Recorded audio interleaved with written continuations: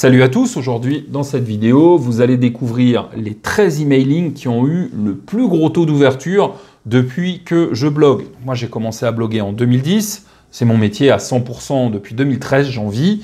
Et au cours de ces années, j'ai envoyé des centaines d'emailing à mes lecteurs.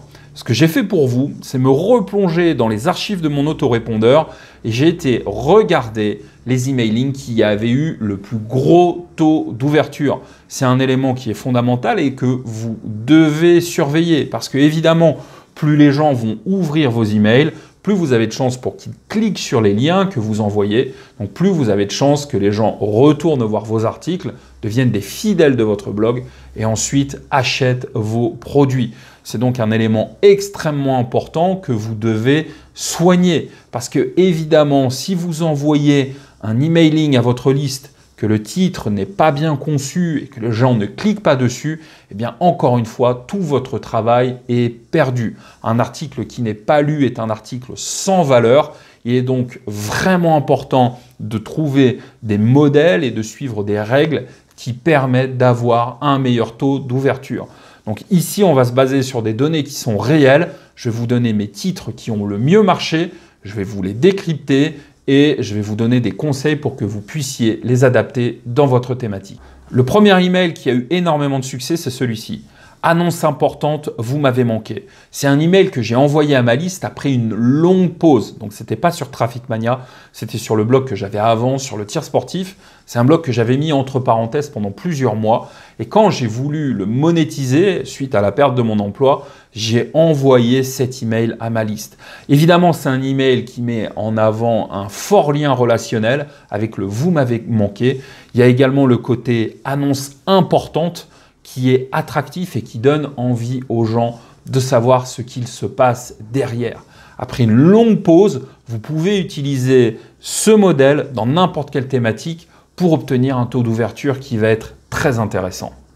Voici le deuxième email. Il était intitulé Un exercice d'épaulé simple et qui donne des résultats. Il a eu un taux d'ouverture supérieur à 40%. Alors, ne vous focalisez pas sur le mot épaulé parce que c'est un mot qui est typique tir sportif. Ça ne va pas vous intéresser. Ce qui va vous intéresser, c'est de recopier cette structure et de l'appliquer dans votre thématique. Je vais vous montrer comment faire ça. Mais juste avant, regardons pourquoi cet email a eu tant de succès. Eh bien, je pense que c'est parce qu'il y a deux mots-clés dans le titre. Il y a le mot simple qui induit forcément l'idée de facilité. Les gens sont toujours en recherche de solutions qui sont faciles à appliquer et votre travail de blogueur, c'est de faire comprendre des choses complexes de façon facile.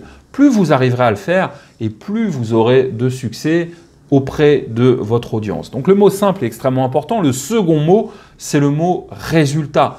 Évidemment, lorsque les gens voient résultat dans un email, ils se projettent vers une amélioration, vers, vers une résolution de leurs problèmes.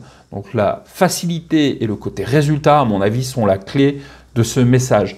Vous pouvez l'appliquer dans votre thématique en reprenant la structure. Si vous bloguez dans, la cuisine, vous pouvez facilement donner une astuce simple qui permet de ne plus coller les gâteaux au moule. Si vous bloguez dans euh, le marathon, vous allez donner, par exemple, un échauffement simple qui donne des résultats. Si vous bloguez dans l'immobilier, vous allez mettre une technique de négociation simple et qui donne des résultats. À vous d'appliquer cette stratégie. Voici le troisième email. Celui-ci a également eu un taux d'ouverture supérieur à 40%. C'est 5 problèmes baltrap quand on bouge les canons trop tôt. Là, en fait, c'est un article qui va lister des points d'erreur sur euh, les conséquences lorsque on effectue le mauvais geste. Donc c'est pas un article solution, c'est un article qui liste des erreurs. Il a extrêmement bien fonctionné à mon avis parce que bah, il liste des chiffres et c'est quelque chose que j'ai remarqué à plusieurs reprises.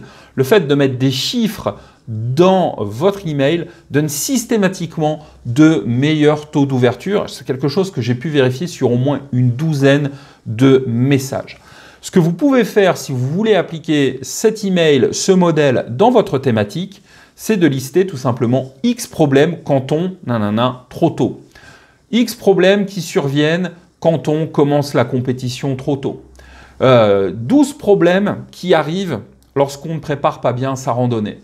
20 euh, problèmes que vous pourriez éviter en faisant ceci, cela. À partir du moment où vous parlez de problèmes et avec un, nombre, un article liste devant, vous obtiendrez des taux d'ouverture qui sont intéressants. Le quatrième email que je voulais vous présenter, il a été envoyé sur Traffic Mania.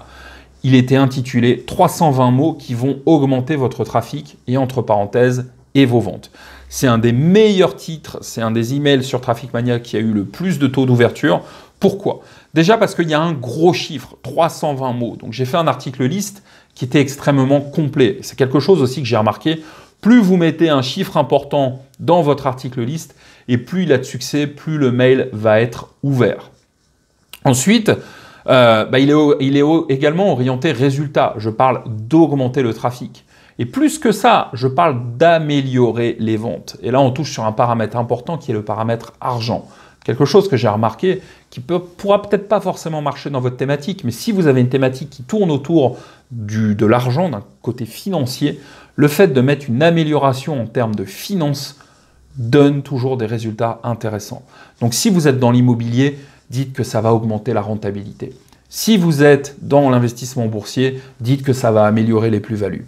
C'est vraiment quelque chose que j'ai remarqué à partir du moment où vous parlez d'argent, vous avez des meilleurs taux de clic. Donc cet email a marché parce qu'il y a un gros chiffre, il a marché parce qu'il est orienté le résultat, augmenter le trafic, et il a marché encore plus parce qu'il y avait le paramètre argent. Donc à vous de voir si vous pouvez recopier cette structure dans votre thématique. Ce que je vous conseille également, c'est d'utiliser les parenthèses. Vous pourriez très bien intituler votre email X astuces ou X quelque chose qui vont améliorer ou qui vont augmenter votre, et vous mettez le résultat, et ensuite vous mettez un second résultat entre parenthèses. Le fait de remettre ces petites parenthèses dans le titre donne aussi, pour une raison que je ne sais pas forcément expliquer, mais toujours des résultats qui sont intéressants. Donc faites cet email avec le premier résultat et le second résultat, et mettez le second résultat entre parenthèses. Voici le cinquième email, il était intitulé J'en ai vraiment ma claque. Alors pourquoi est-ce qu'il a marché? Eh bien tout simplement parce qu'il y a un côté coup de gueule et le côté polémique sur Internet, ça fonctionne bien. Il est également assez énigmatique parce que je dis que j'en ai ma claque, mais je ne dis pas de quoi j'en ai marre. Donc il y a un côté teasing. Je titille les gens, je titille leur curiosité, ils ont envie de savoir ce qui m'énerve, donc ils vont être incités à ouvrir euh, l'email. On sort là du côté enseignement pour aller vers le côté émotionnel, vers le côté explosif. Donc c'est quelque chose qui différencie également des autres emails que j'envoie qui sont en général très orientés résultats. C'est donc quelque chose que vous pouvez utiliser dans votre thématique. À partir du moment où vous voyez des choses qui ne vous plaisent pas dans votre thématique, utilisez ce modèle, j'en ai vraiment ma claque, et vous aurez un bon taux d'ouverture. Le sixième, eh bien, c'était 43 astuces d'écriture pour sauver votre blog du naufrage. Pourquoi euh, cet email a eu un gros taux d'ouverture? Eh bien tout simplement parce que là aussi, on a un nombre important, avec 43, donc les gens voient 43 astuces, ça leur donne envie de euh, les découvrir. Et puis, à mon avis, il fonctionne aussi parce que j'utilise des mots d'influence. Sauvez votre blog du naufrage. J'insiste lourdement sur le côté entre guillemets dramatique, j'exagère même, mais si vous voulez, ça fait un petit peu ressortir les mots et ça frappe l'esprit du lecteur. Et je pense que c'est pour ça que cet email a eu autant de succès. Donc ce que vous pouvez faire, c'est donner comme ça des astuces pour sauver votre lecteur du naufrage. 10 astuces marathon pour sauver votre course du naufrage. 5 euh, astuces immobiliers pour sauver votre rentabilité du naufrage. Là aussi, vous aurez un taux d'ouverture, à mon avis, qui sera très intéressant. Le septième, c'était nouveau, deux points, comment gagner de l'argent avec un blog, deux ingrédients obligatoires. Qu'est-ce qui a fait que ça a marché? Eh bien, à mon avis, il y a le mot nouveau.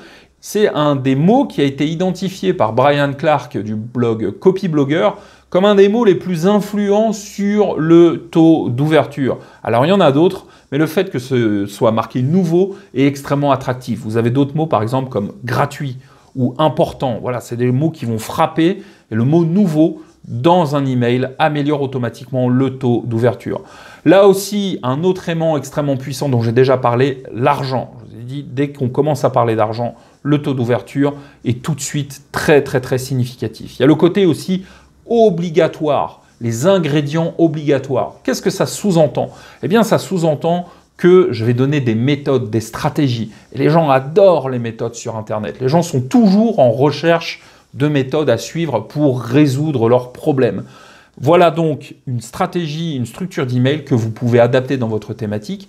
Même si vous ne parlez pas forcément d'argent sur votre blog, eh bien vous pouvez leur expliquer comment progresser grâce à deux ingrédients obligatoires. Comment progresser au marathon, deux ingrédients obligatoires. Et vous verrez là aussi, vous aurez un taux d'ouverture très intéressant. Le huitième email, c'était ils disent publiez beaucoup, entre guillemets, je dis surtout pas.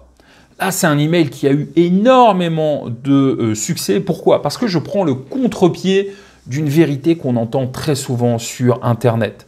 Ce qu'il faut savoir, c'est que moi, maintenant que je fais du web marketing, je vois les coulisses de euh, ce qui se passe dans cette thématique. Et je sais qu'il y a beaucoup de gens qui font simplement que répéter des vérités qui semblent évidentes, mais qui ne fonctionnent pas. Il y a plein de gens, par exemple, qui répètent qu'il faut publier des articles écrits tous les jours pour avoir du succès. Si vous êtes en blogging écrit, il vaut mieux écrire un article qui a énormément de lecteurs, qui va être très qualitatif, plutôt que 10 petits articles qui ne vont intéresser personne. C'est du bon sens. Pourtant, vous avez encore plein de blogueurs qui vous disent qu'il faut publier absolument tous les jours. Eh bien moi, je prends le contre-pied et en fait, eh ben, en prenant ce contre-pied, je, crée une espèce de, de, club autour de moi. Voilà, les gens qui vont découvrir la vérité versus bah, les gens qui sont baratinés par les autres. Et euh, voilà la structure que vous pouvez donc reprendre dans votre email. Ils disent nanana et vous reprenez une vérité largement répandue dans votre thématique. Je dis surtout pas. Ils disent entraînez-vous tous les jours. Je dis surtout pas. Ils disent euh, boursicoter tous les jours, je dis surtout pas, etc., etc., etc. À vous comme ça de prendre le contre-pied sur les réalités, enfin sur les, les, vérités peu évidentes de votre thématique. Le neuvième email que je voulais vous présenter, c'était mon avis sur votre site. C'est un email que j'envoyais pour vendre du coaching. Et là, en fait, pourquoi ça a marché? À mon avis, parce que je proposais de l'aide en direct aux gens. Finalement, les gens, ils sont devant leur blog, ils savent pas trop comment s'y prendre. Et le fait que j'aille voir leur site et que je leur parle de leur site était extrêmement intéressant. C'est une stratégie que j'utilise souvent et qui me permet de vendre mes coachings très chers, très facilement. Donc, vous pouvez aussi vous prendre hum, cette structure et dire mon avis sur votre cuisine, mon avis sur votre entraînement, mon avis sur vos performances, mon avis sur votre jeu à la guitare. Là, vous vous, positionnez vraiment comme la personne qui va guider votre lecteur. C'est pour ça, euh, selon moi, que euh, cet email a eu un tel taux d'ouverture. Le dixième email que je voulais vous présenter, c'était 35 signes que vos articles sont ratés. Pourquoi est-ce que ça a fonctionné? Là aussi, on retrouve les gros chiffres. On retrouve également le paramètre peur. Vos, vos articles sont ratés. Comment les gens se disent quoi? Comment mes articles sont ratés? Qu'est-ce qui, va montrer que mes articles sont ratés? Et je pense que c'est ce côté-là aussi qui a fait que les gens étaient attirés par cet email. Donc vous pouvez le reprendre dans votre thématique en disant, bah voilà, 35 signes que 35 euh, signes qui montrent que vous ne gagnerez jamais une course, 35, 35 signes qui montrent que vous n'y arriverez jamais. Euh, à partir du moment où vous pointez les erreurs, c'est toujours des choses qui sont attractives. Ça nous amène au onzième mail. C'était le plugin démoniaque qui envole les listes d'inscrits. Même mieux que ça, c'était nouveau. Deux points, le plugin démoniaque qui envole les listes d'inscrits. C'était un article dans lequel je décrivais un plugin et euh, je pense que là aussi ce qui a marché, ben, c'est le côté nouveau, plus les mots d'influence avec le mot démoniaque qui est un mot extrêmement puissant et qui a à mon avis interpellé les gens parce que les gens n'ont pas l'habitude de le voir sur leur boîte mail. Et euh, le côté euh, bah, liste d'inscrits qui est un problème majeur en blogging. Les gens cherchent à avoir plus d'inscrits. Donc si vous partez comme ça sur le côté nouveau, plus un mot extrêmement puissant euh, comme, comme démoniaque, et qu'ensuite vous mettez un problème qui est majeur, vous obtiendrez un bon taux d'ouverture. Ça nous amène au douzième email, il en restera un derrière. Annonce rapide et petite demande. Pourquoi cet email a si bien marché, annonce rapide et petite demande? Eh bien, je pense que là aussi, il y a un côté énigmatique, il y a un côté teasing. Les gens veulent savoir ce qui se cache derrière, donc ils vont lire le message. Il y a également un côté rapide et facile qui n'engage pas. Je vous demande juste une petite chose. Donc les gens savent qu'ils ne vont pas prendre 15, 20 ou 30 minutes à regarder un contenu ou à lire un article de 3000 mots. Ils vont simplement avoir une petite demande, un petit quelque chose. Et les gens avec qui j'ai de la proximité ouvrent ce message. Le treizième et dernier email que je voulais vous présenter, c'était voici comment j'ai eu 2190 nouveaux inscrits en 30 jours. Pourquoi ça marche? Ben Là aussi, gros, gros chiffre, plus une date. Le fait de rajouter en plus en X jours rend le message encore plus attractif, puisque là, les gens visualisent un progrès qui est absolument concret. Voilà, à la fin du mois, j'aurai 2190 inscrits de plus en suivant cette stratégie. Encore une fois, euh, on est orienté là sur un résultat, on est daté, on est chiffré. C'est la clé du succès. En faisant ça, vous avez un email qui est forcément ouvert. Donc en, récap, qu'est-ce que j'ai remarqué en analysant mes archives? Eh bien, ce qui marchait, euh, c'était d'abord les chiffres. Le fait de mettre des gros chiffres dans les sujets d'email donne un taux d'ouverture. Le fait de mettre des mots d'influence, des mots qui sont puissants, démoniaques, euh, rapide, fort, sauvé du naufrage, voilà, ce genre de mots frappe l'imagination et euh, incite les gens à ouvrir le message. Les parenthèses aussi fonctionnent très bien. Euh, le fait de toujours rajouter une petite précision entre parenthèses, c'est quelque chose, vous verrez, qui donne des résultats qui sont intéressants. J'ai remarqué aussi que ce qui fonctionne, c'est quand c'est orienté résultat et que le côté facile, simple et rapide est mis en avant. Également le côté je vous aide, je suis là pour vous, je vais m'occuper de vous. Ça, ce côté très empathique, le côté proximité donne des résultats qui sont intéressants. Et enfin, le dernier point que vous pouvez utiliser, c'est le côté polémique. Vous placez en opposition par rapport aux vérités largement répandues dans votre thématique avec lesquelles vous n'êtes pas d'accord. Voilà, vous avez maintenant des modèles d'email à utiliser. Il me reste à vous dire que si vous avez des soucis de trafic, si vous avez un blog, que vous avez peu de trafic ou que vous n'avez pas de trafic, j'ai créé une heure de formation qui est gratuite. Il y a un lien sous la vidéo, il suffit de cliquer sur ce lien et vous pourrez accéder à une formation complète blogging, trafic et obtenir des résultats dès aujourd'hui. Je vous remercie d'avoir suivi cette vidéo et je vous dis à très bientôt sur Traffic Mania. Ciao